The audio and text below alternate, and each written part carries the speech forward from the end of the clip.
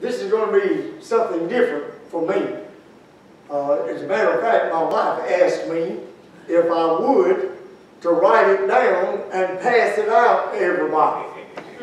And uh, somebody it gets a little bit on the complicated side. So I, this is going to be one of those when I speed up, slow down, speed up, slow down. But uh, in order to get it out the way I feel it and the way I've studied it and the way I've looked at it, I'm going to have to slow down every once in a while to get that. But if you have your Bible, I'm going to do a lot of Bible tonight. Amen. If you will turn with me to Zechariah chapter 9 and verse 9. Now this is a short verse of scripture, and we're going to use this actually as a springboard for what is to be for. I, I tell you what I'm going to preach on tonight. What the donkey knows. Amen. The donkey knew something. And I'm going to share with you tonight what the donkey knows. If you'll look with me to Zechariah 9 and 9, and then we're going to the 21st chapter of Matthew. And uh, from there, I'll be jumping back to Daniel, but I give you plenty of warning about Daniel. But when we look at Zechariah, the Bible said, Rejoice greatly, O daughter of Zion. Shout, O daughter of Jerusalem. Behold, thy king cometh unto thee. He is just and having salvation, lowly and riding upon an ass and upon a colt, the foal of an ass. Now in Matthew chapter 21, beginning with verse 1, and when they drew nigh unto Jerusalem, and they were come to, to Bethphage, or Bethphage, under the Mount of, of uh, Olives, then sent Jesus two of his disciples, saying unto them, Go into the village over against you, and straightway you shall find a, a, a colt, or find an ass and a colt, her, her forgive my eyes, I'm sorry, loose them and a colt with her. Loose them and bring them unto me. And if any man say aught unto thee, unto you, you shall say, The Lord hath need of them, and straightway will send them. All this was done that it might be fulfilled, which was spoken by the prophet Zechariah, saying, Tell ye the daughter of Zion, Behold, thy king cometh unto thee meek, and sitting upon an ass, and upon a colt, the foal of an ass, and the disciples went and did as Jesus commanded them, and brought the ass and the colt, and put on them their clothes, and they set him their own. And a very great multitude spread their garments in the way. Others cut down branches from the trees and strawed them in the way. And the multitude that was before and that followed cried, saying, Hosanna to the Son of David. Blessed is he that cometh in the name of the Lord. Hosanna in the highest. Shall we pray? Our Father, thank you for the Word of God, for all you've given unto us. And may we tonight reach back and somehow, some way, somehow, may we exhort what you have given us and give it to this congregation to the going and building of the kingdom of God. And we'll love you for all accomplished in Jesus' name. Amen. When Zechariah wrote this prophecy, Jerusalem was in ruins. Jerusalem had been defeated. Jerusalem had been actually torn down. The walls had torn down. The gates were torn down. The temple was burned. And Zechariah, instead of focusing right here on the rebuilding that was going on at that time, or on focusing on the tragedy of the city of David being destroyed, he focused rather on the coming of the Messiah. Amen. And he looked ahead to the time when Messiah would come, and he said he will be just, and he will have with him or having salvation. Amen. Now, for thousands of years, people had offered their sacrifices unto God. They had brought the blood of animals. They had poured out gallon after gallon after gallon of blood. Amen. To give to the Lord. But now all of a sudden, Zechariah said, there's one coming whose sacrifice is not going to cover sin, but it's going to do away with sin. Amen. I don't know about you, Yes. but that is exciting to me. Yes, amen. To know that my sins are not simply covered, Amen. they are forgiven Amen. and forgotten. Yes, amen. Glory.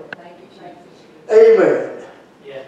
Every once in a while, I remember my wife is, uh, we pretty well stay at one another all the time.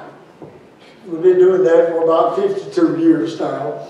And uh, if I ever, I told her not long ago, I said, you know, that's the first time in a long time I feel like I have really preached a sermon. And she said, it's about time you've been trying 54 years. Amen. So we take advantage of one another when we get up because she can't afford to say anything back to me sitting over there. And so that's the reason. And I looked and I think God didn't just, I remember the Lord told me when I, and I've testified to this, when I was in the intensive care unit, wasn't supposed to live. In fact, I didn't live. I died four times. But laying in that unit, the Lord spoke to me. And I said, I remember seeing a vision. Everything turned, now this is a beautiful shade of but everything turned the ugliest green I've ever seen in my life. And I said, God, I don't understand this. Why is everything this ugly? And right in the middle of it was a snake. Now, I don't like snakes. About this big around. And it was standing up about this high. And I said, Lord, what's going on? Where are the angels? Where are the bright lights that everybody sees? I'm not saying that. What is going on? I'm ready to go. And God said, son, there's two things you got to straighten out. And I said, you tell me what they are. Get me out of here and I'll do them. He told me what the word got me out of there and I've done them. Amen. I promise you. And my wife looked at me the other day and said, you've got so and so and so and so and so and so and so and so. And she just kept on and on and on. And I looked at her and I said, God said two, and I did it. Amen. Now leave me alone. I don't have to do anymore. God said two. But I'm glad that God didn't just cover my sin, but God did away with them. Amen. They are forever forgiven and they are forgotten by the Son of God. They have been erased and I am free tonight in the power and in the love and in the glory of Almighty God. When we look at this prophecy, I have to go back to the book of Daniel and I've got to look at Daniel and we're going to we're going to look at, if you don't mind, Daniel chapter 9. And we'll begin reading with verse 24. Daniel chapter 9, beginning with verse 24. Daniel's prophecy actually corresponds with Zechariah's prophecy. Oh, glory. And it is amazing to me the order that God puts everything in. Now, I'm very orderly. I went in the room tonight and everything was black. I knew I needed a pair of brown socks. So I counted from the left where our black socks are, and then the gray socks, and then the brown socks. And I didn't have to look. In the dark, I picked out a pair of brown socks. And I checked when I got to church, and I looked down, and sure enough, they're brown. Amen. I love order. I do. And I like I like to look at God's word there's an order. In Daniel chapter 9, beginning with verse 24, the Bible said, 70 weeks are determined upon thy people and upon thy holy city to finish the transgression and to make an end of sin and to make reconciliation for iniquity and to bring in everlasting righteousness and to seal up the vision and prophecy and the, of the most holy. Know therefore and understand that from the going forth of the commandment in, in to restore and to rebuild Jerusalem under Messiah. He's talking about Messiah coming. Uh, The prince shall be seven weeks and fourscore and two weeks. The street shall be built again, and the wall even in troublous times. Now I'm going to stop right there.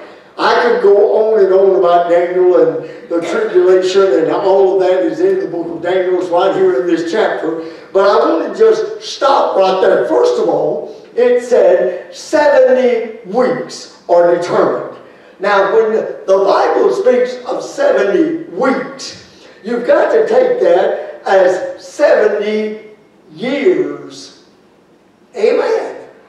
And 7 times 70. Now remember, we're talking about Messiah coming. We're talking about Messiah revealing himself. And Daniel said it will be 70 weeks. Seven days in a week, seven times 70 is 490 years. Amen. But now, notice also, it said one week, seven or seven, uh, one week. Amen. And seven days to a week, that's 49 years. From the day Daniel prophesied this until the time that Jerusalem was restored and rebuilt was exactly, are you ready for this? Seven times seven is what?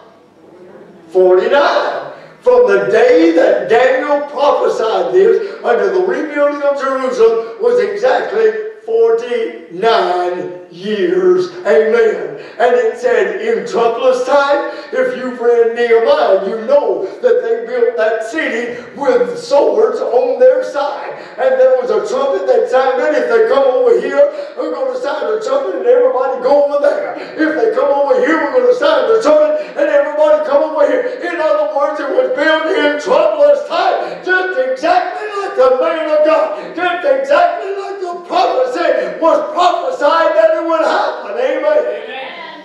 Now, there's two ways of looking at this. The next figure is verse 25. Well, the Bible said, three score and two weeks. Or in other words, a score is 20. Three score, three times 20 is 60, and two is 62. Seven weeks have already gone. You've got to add the seven to the 62.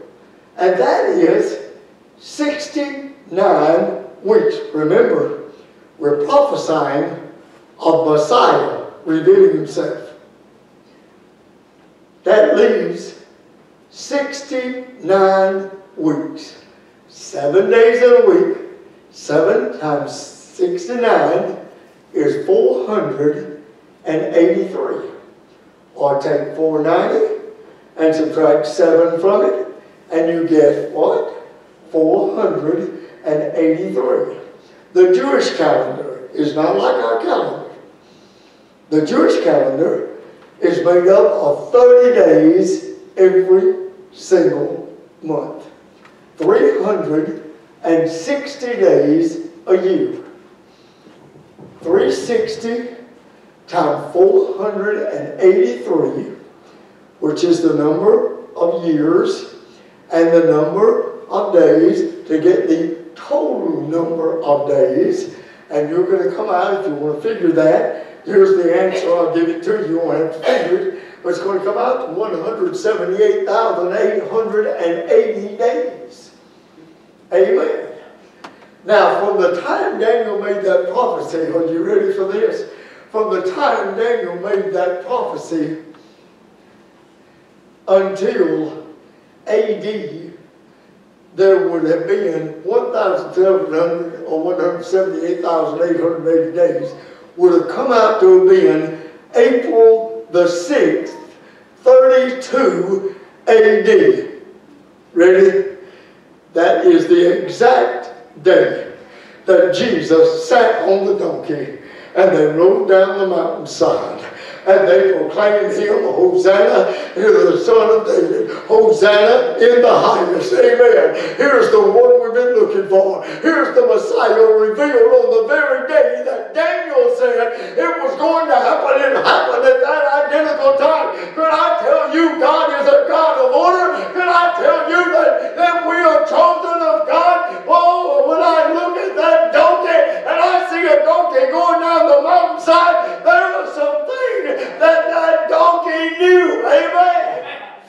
Oh, glory.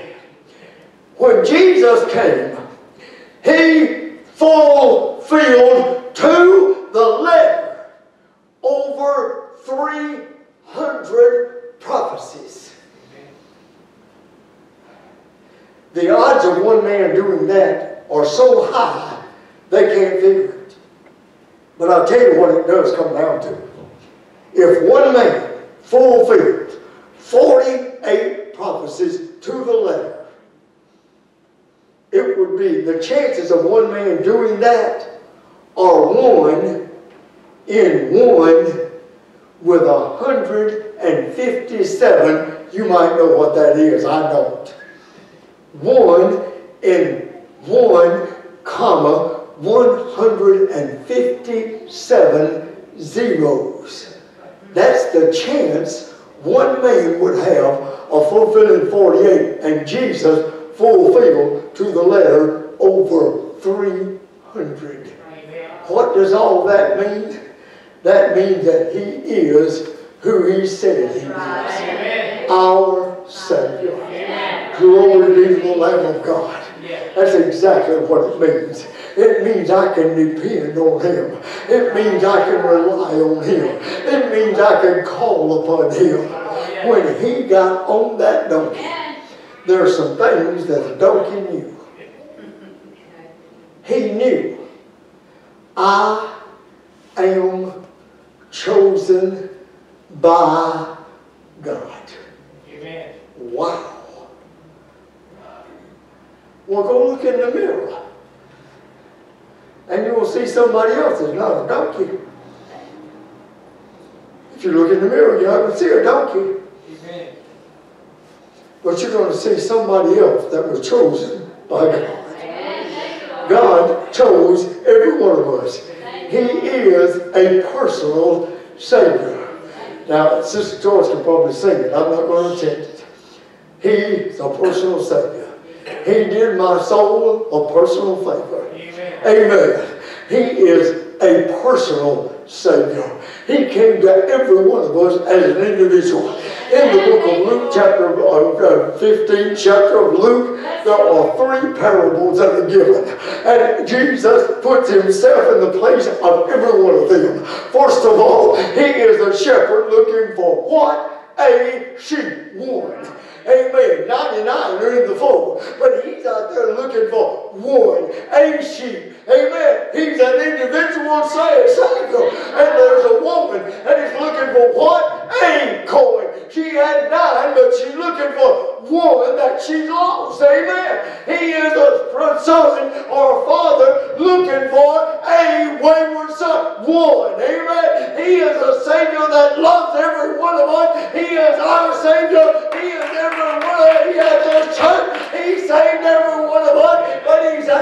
individual Savior.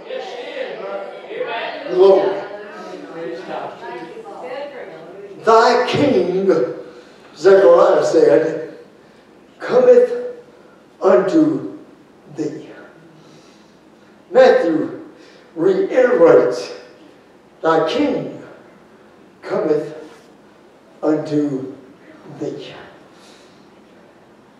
Do you remember when you got saved? Amen. I do. Little old bitty church. Little bitty church. Amen. About where that window is yonder is where I was standing. And somehow, that Sunday morning worship service, I got out in the aisle. I didn't mean to. I didn't want to. And God touched a young woman's heart and said, walk around this church. And I saw her coming. And I couldn't move. My shoes were like they were nailed to the floor. And I said, Lord, was a Christian. But I said, Lord, don't let that woman come by and touch me. I don't want that. And I couldn't move. I grabbed the pew and tried to pull myself in. I couldn't move. That woman walked by and touched my arm. I believe it was 25,000 volts of electricity, I think that's what it was, that went through my body. And I shook and I trembled and I said, Lord, I'm not going. And I grabbed that pew. My knuckles turned white and I held on. That woman walked down front, looked at the preacher, and said, God told me to do it again. I said, Oh Lord, no. No, here she comes. God, get me out of here. Don't let me stand here. Get me back in that pew. I don't want to stand. She walked by and touched my arm and turned around. And she was going to say, Don't you want to go to the altar? But she was talking to the back of my feet. I was only a dead woman. And I hit that altar and I prayed until God forgave my sin. Amen. Not everybody else. It was mine. And God was dealing with. Church, I'm going to tell you, He is a personal Savior. The King is coming unto thee. Amen. Hallelujah. Every one of us, there's only one of the sound of my voice that doesn't have a need. Amen. And He wants to talk to you personally. Oh, glory. I came here thinking that I could be a blessing Amen. and that I could be, I could help Brother Mark. Amen. That's what I thought. Yes.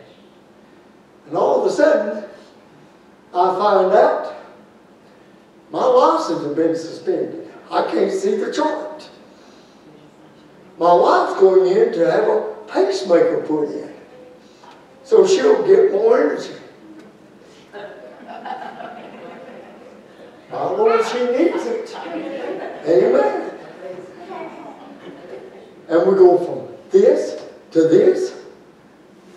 Instead of three in the family, I now have six in the family. We're drinking on an average eight gallons of milk a week. And of course they give that away. Amen. They don't charge you for it at all. They just give it to you. Yeah. Amen. And I looked at her the other day and I said, What did we do wrong? And she said, You got me, but whatever it is, let's straighten it out. I said, You better believe it. Amen. I look at the Word of God. He's just and lowly. You know what that donkey, let me tell you what the donkey knew. The donkey knew, I'm chosen of God. When he started down that mountain, they heard everybody shouting, Oh, glory. Wouldn't it have been great to say, hey, look at that. Everybody sees me coming. Everybody is clapping their hands. Everybody is stomping their feet. Everybody is throwing the branches in the way. Everybody is, is glorifying me. Amen. But he knew it's not me they're clapping for. It's the one on my back. Amen. It's the one I'm carrying. I'm going to tell you, church, it's Jesus that they want to see. They don't want to see us. They don't want to look at us. They want to see Jesus. And our obligation is show them the Lord. Hallelujah. The donkey knew that. The donkey knew. Most dignitaries don't ride a donkey. They ride a white horse. Not many years ago, I traded automobiles and I got a Buick Escalade. Wow. They just come out. I didn't know what an Escalade was. I got in that thing and I cranked it up and I test drove it. I carried it home and I told my wife, I said, drive that thing. Wow. It drives like a Cadillac. It goes like a Lincoln. It's one of the most easy riding, easy driving So guess what? I talked her into it and we bought that thing. I didn't keep it six months.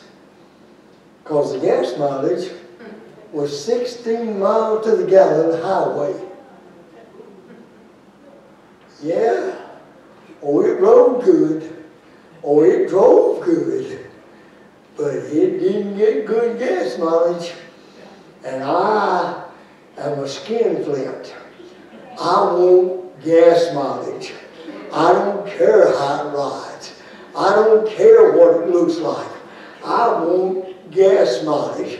I got a letter the other day saying, if you will sell us that Buick Escalade back, we'll give you so much money for it. And I looked at my wife and I said, if I had it, I'd sell it. but I don't have it, so I can't sell it. Somebody else has got it.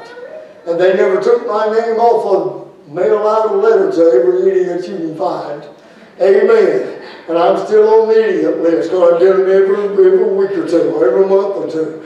They still want me to trade my Escalade in. My Lord, I traded it in six months after I got the thing. And they never got word. Amen.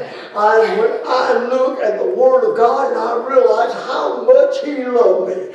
One drop of His blood did what millions of gallons of blood had not been able to do down through the centuries. Amen. And that is to pardon sin, to do away with sin, to eradicate sin, to heal our body by the blood that He shed. Amen.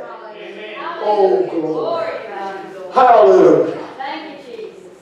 I know this has been a different one than what you're used to hearing. It's not up and stay up. It's up and down and up and down. I know that. And I apologize for that. But in order to get everything across, I had to slow down. You can't multiply 483 times 360 if you don't slow down. So I had to slow down. But what I want to get across is Jesus is exactly who he said he was. Yes, amen. And the donkey knew that. And the donkey knows. Dignitaries don't ride donkeys.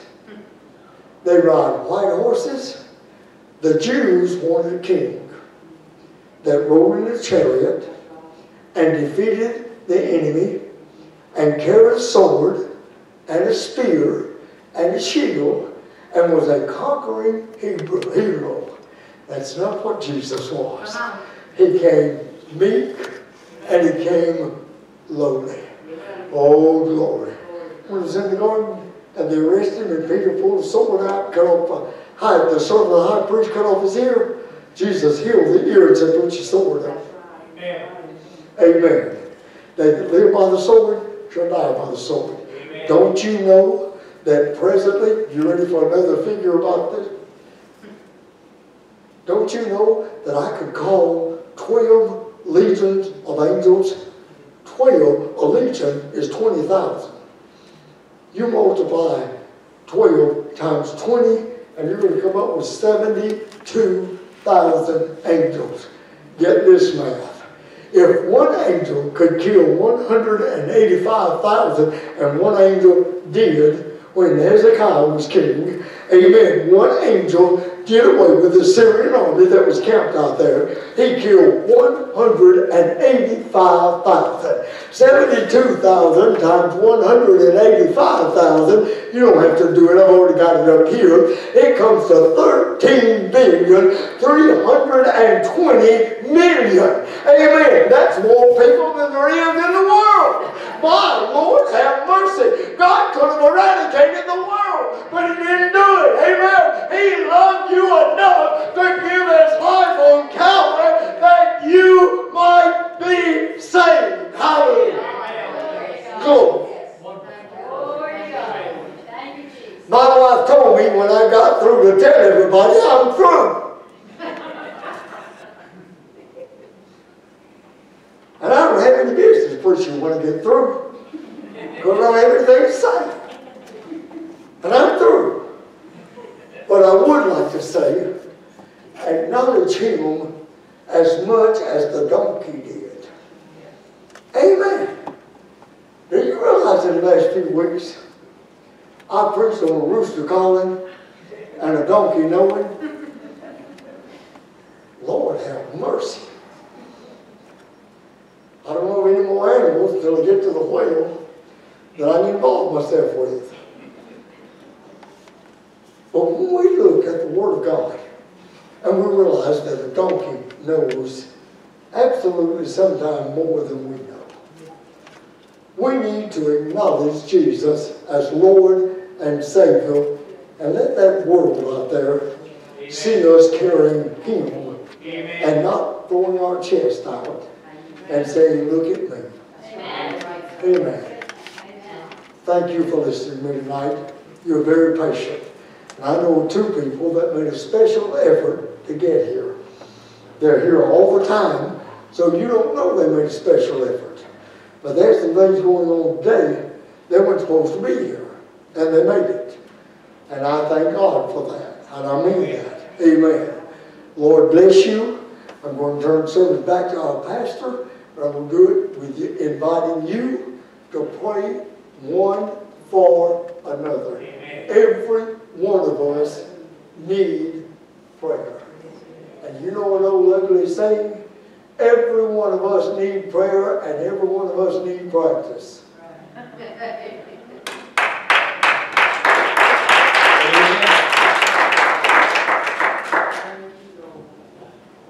Thank you, Brother Billy. Amen.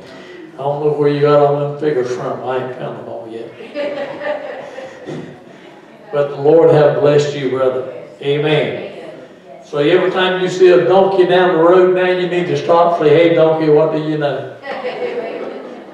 You might learn something. Amen. Appreciate Brother Billy and Sister Wilson being with us, coming and help us out. And I do appreciate all of you tonight. Want to remind you about our revival starts the first Sunday in uh, November, Sunday morning with Brother Tim. Be running through Wednesday night, be in prayer for it. Uh, that God will give us a great revival. And also, to remind you about our service Sunday morning, Sunday school. And also remember, uh, Saturday week is our hot dog, a hamburger, and peanut butter thing. So you may plans to be here with us, and God bless you. You enjoyed yourself tonight? Would you give the Lord another good hand clap of praise? Amen? It's good to have tonight. If you'll stand, we'll be dismissed. Ask Sister Victor to dismiss us tonight.